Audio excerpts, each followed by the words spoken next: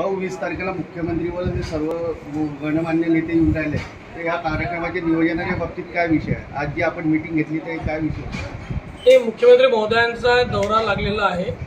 मुख्यमंत्री महोदय मुक्ताईनगरला येत आहे मुक्ताईनगर तालुका आणि परिसरामध्ये म्हणजे मतदारसंघातल्या रावेर तालुक्यामध्ये यावल तालुक्यामध्ये चोपडा तालुक्यामध्ये मुक्ताईनगर तालुक्यामध्ये आणि अन्य तालुक्यांमध्ये जी केळी उत्पादक शेतकरी आहे तो बऱ्याच अडचणीला भोगतोय. तुम्ही बघत बघता आता सीएमईची अडचण आली.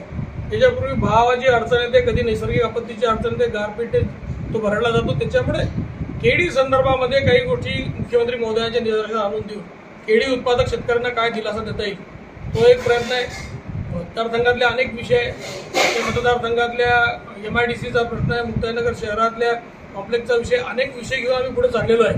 आणि मुख्यमंत्री महोदय येत आहे जळगाव जिल्ह्यातल्या अनेक प्रश्नांना दिलासा देण्याच्या दृष्टिकोनातून कसा पद्धतीत त्यांच्याकडून मदत होईल त्या घोषणा होतील. तो प्रयत्न मी आणि माझ्या सगळ्याच सहकार्यांचा असेल मंत्री महोदय गुलाबराव पाटील साहेबांचा असेल. योग माझा की मला जळगाव जिल्ह्यामध्ये मुक्त मुख्यमंत्री शिंदे साहेबांचा कार्यक्रम मिळाला तर त्याचं सोनं करून घेण्याच्या दृष्टिकोनातून नियोजन करण्यासाठी आज मी खऱ्या अर्थाने इथे आलो होतो. बंद पडलेला आहे. तो त्याच्यासाठी आपण काय प्रयत्न करणार आहात?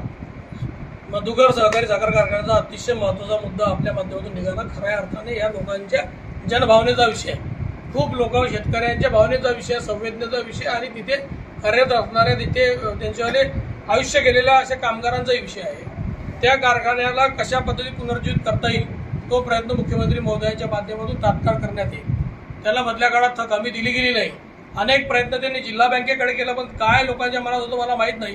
पण आज मुख्यमंत्री महोदय येत आहे आणि माझ्या या मतदारसंघातल्या रावेर तालुक्यातला अति चांगला कारखाना ज्याची स्वतःची प्रॉपर्टी दीड दोनशे करोड रुपयाची असताना केवळ दहावीस करोड रुपयासाठी तो कारखाना बंद पडला भंगारात जातो किंवा विक्री होईल असं होऊ नये ही इथल्या सगळ्यात जनभावना असल्याने त्या संदर्भात मुख्यमंत्री महोदयांची त्या संबंधाला बोलून लवकरात लवकर अतिशय चांगला आणि पॉझिटिव्ह निर्णय कसा होईल तो प्रयत्न माझा आणि माझ्या सगळ्या सहकाऱ्यांचा असेल